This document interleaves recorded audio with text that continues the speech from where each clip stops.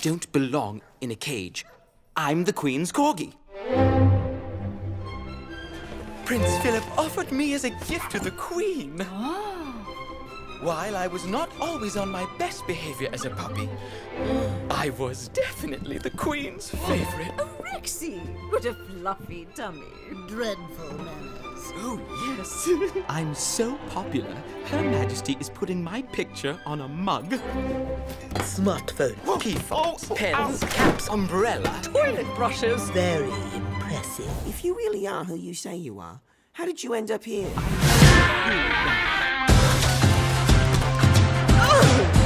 And I had to run away. You'll get lucky. That said, most of us actually like it in here.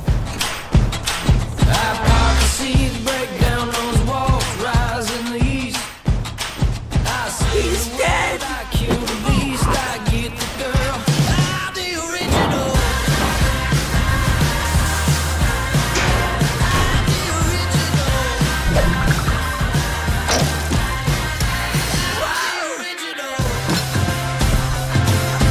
get ready for your.